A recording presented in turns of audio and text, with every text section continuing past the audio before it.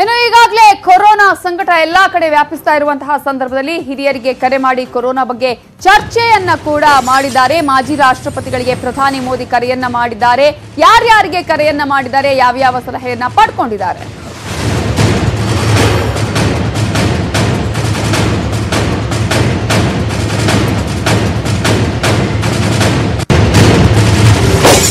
ಹಿರಿಯರಿಗೆ ಕರೆ ಮಾಡಿ ಕೊರೋನಾದ ಬಗ್ಗೆ ಚರ್ಚೆಯನ್ನ ಮಾಡಿದ್ದಾರೆ ಪ್ರಧಾನಿ ನರೇಂದ್ರ ಮೋದಿ. ಮಾಜಿ ರಾಷ್ಟ್ರಪತಿಗಳಿಗೆ ಪ್ರಧಾನಿ ಮೋದಿ ಕರೆ ಮಾಡಿದ್ದು ಪ್ರಣಬ್ ಮುಖರ್ಜಿ, ಪ್ರತಿಭಾ ಪಾಟೀಲ್ಗೆ ಕರೆ ಮಾಡಿದ್ದಾರೆ. ಇಬ್ಬರು ಮಾಜಿ ಪ್ರಧಾನಿಗಳಿಗೂ ಪ್ರಧಾನಿ ಮೋದಿ ಕರೆ ಮಾಡಿದ್ದು, ಮಾಜಿ ಪ್ರಧಾನಿ ಮನಮೋಹನ್ ಸಿಂಗ್ಗೆ ಕರೆಯನ್ನ ಮಾಡಿದ್ದಾರೆ. ಇದೇ ಸಂದರ್ಭದಲ್ಲಿ ಕೊರೋನಾ ಬಗ್ಗೆ ಚರ್ಚೆಯನ್ನ ಮಾಡಿದ್ದಾರೆ, ಸಲಹೆಗಳನ್ನ ಕೇಳಿದ್ದಾರೆ, ಕರೆ ಮಾಡಿ ಮಾತನಾಡಿದ್ದಾರೆ. ಮಾಜಿ ಪ್ರಧಾನಿ ದೇವೇಗೌಡರಿಗೂ ಕೂಡ ಕರೆ ಮಾಡಿದ್ದಾರೆ ಪ್ರಧಾನಿ ಮೋದಿ.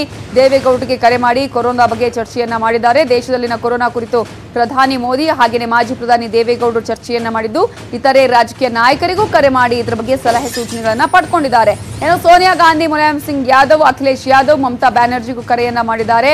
ಜೊತೆಗೆ ನವೀನ್ ಪಟ್ನಾಯಕ್, ತೆಲಂಗಾಣ ಸಿಎಂ ಕೆಸಿಆರ್ಗೂ ಕರೆ ಮಾಡಿದ್ದಾರೆ. ಸ್ಟಾಲಿನ್ ಆಗಿರ್ಬೋದು ಪ್ರಕಾಶ್ ಸಿಂಗ್ ಬಾದಲ್ಗೂ ಕರೆ ಮಾಡಿ ಚರ್ಚೆಯನ್ನ ನಡೆಸಿದ್ದಾರೆ. ಒಟ್ಟಾರೆ ಪ್ರಮುಖ ನಾಯಕರೊಂದಿಗೆ ಕೊರೋನಾ ಬಗ್ಗೆ ಪ್ರಧಾನಿ ನರೇಂದ್ರ ಮೋದಿ ಚರ್ಚೆಯನ್ನ ನಡೆಸಿದ್ದಾರೆ. ಏನೇನು ಮಾಡಬೇಕು, ಯಾವ್ಯಾವ ರಾಜ್ಯಗಳ ಕತೆ ಏನು ಅನ್ನೋದರ ಜೊತೆಗೆ ಯಾವ ರೀತಿಯಾಗಿ ಇದನ್ನ ನಿಯಂತ್ರಣ ತರೋದಕ್ಕೆ ಏನೆಲ್ಲ ಮುಂದಿನ ಕ್ರಮಗಳನ್ನ ತೆಗೆದುಕೊಳ್ಳಬೇಕು ಅನ್ನೋದ್ರ ಬಗ್ಗೆ ಸಲಹೆ ಸೂಚನೆಗಳನ್ನ ಕೂಡ ಹೇಳಿದ್ದಾರೆ. ಜೊತೆಗೆ ಕರ್ನಾಟಕದ ಮಾಜಿ ಪ್ರಧಾನಿ, ಕರ್ನಾಟಕದಿಂದ ಆಯ್ಕೆಯಾದಂತಹ ಮಾಜಿ ಪ್ರಧಾನಿ ದೇವೇಗೌಡರಿಗೂ ಕೂಡ ಕರೆಯನ್ನ ಮಾಡಿದ್ದಾರೆ ಪ್ರಧಾನಿ ನರೇಂದ್ರ ಮೋದಿ. ಹಾಗೆಯೇ ಅವರ ಹತ್ರ ಕೂಡ ಸಲಹೆ ಸೂಚನೆಗಳನ್ನ ಕೇಳಿದ್ದಾರೆ. ಇನ್ನು ಕೇವಲ ಬೇರೆ ಬೇರೆ ಪ್ರಧಾನಿ ಮಾಜಿ ಪ್ರಧಾನಿಗಳಿಗೆ ಮಾತ್ರ ಅಲ್ಲ ಸಾಕಷ್ಟು ಕಡೆಗಳಲ್ಲಿ ಮುಖಂಡರುಗಳಿಗೆ ಹಾಗೆಯೇ ಸಿಎಂಗಳಿಗೆ, ಬೇರೆ ಬೇರೆ ರಾಜ್ಯದ ಸಿಎಂಗಳಿಗೆ ಕೂಡ ಕರೆಯನ್ನ ಮಾಡಿ ಇದರ ಬಗ್ಗೆ ಮಾಹಿತಿಯನ್ನ ಹಂಚಿಕೊಂಡಿದ್ದಾರೆ.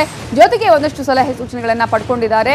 ಹಾಗಾಗಿ ಮಾಜಿ ರಾಷ್ಟ್ರಪತಿಗಳಾಗಿರ್ಬೋದು, ಮಾಜಿ ಪ್ರಧಾನಿಗಳಾಗಿರ್ಬೋದು ಹಾಗೆಯೇ ಬೇರೆ ಬೇರೆ ಪಕ್ಷದ ಪ್ರಮುಖ ಮುಖಂಡರುಗಳು ಆಗಿರಬಹುದು, ಎಲ್ಲರಿಗೂ ಕೂಡ ಕರೆ ಮಾಡಿ ಇದರ ಬಗ್ಗೆ ಸಲಹೆ ಸೂಚನೆಗಳನ್ನ ಪಡ್ಕೊಂಡಿದ್ದಾರೆ. ಮಾಜಿ ಪ್ರಧಾನಿ ದೇವೇಗೌಡರಿಗೂ ಕೂಡ ಕರೆಯನ್ನ ಮಾಡಿದ್ದಾರೆ. ಹಾಗೆಯೇ ಮಾಜಿ ಪ್ರಧಾನಿ ಮನಮೋಹನ್ ಸಿಂಗ್ ಅವರಿಗೆ ಎಐಸಿಸಿ ಅಧ್ಯಕ್ಷೆ ಸೋನಿಯಾ ಗಾಂಧಿಗೂ ಕೂಡ ಕರೆ ಮಾಡಿದ್ದಾರೆ.